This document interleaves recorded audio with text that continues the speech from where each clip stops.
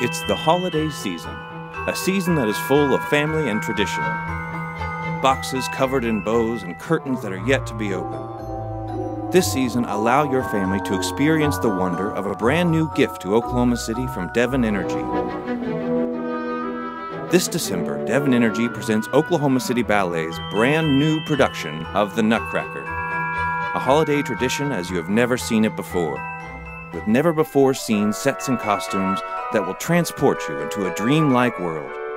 While your family is preparing for the magic of the holidays, we are getting ready too. As we get closer, there's only one question to answer Are you ready? For 10 performances, December 13 through 22nd. For tickets, call 848 TOES or go online to okcballet.com.